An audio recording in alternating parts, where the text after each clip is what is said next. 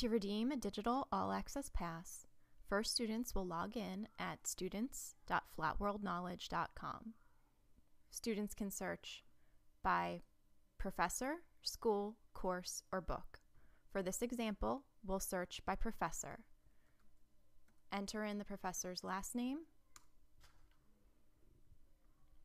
This takes you to the search results. From here, the students will find their correct course, and then in the redeem box directly to the right of the course information, they'll enter their code.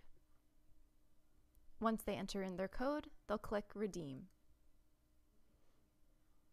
Here, students should review the information for accuracy, and then down at the bottom, click Get Access. While your products are loading, you'll see this screen. Once everything is ready, you'll click Continue.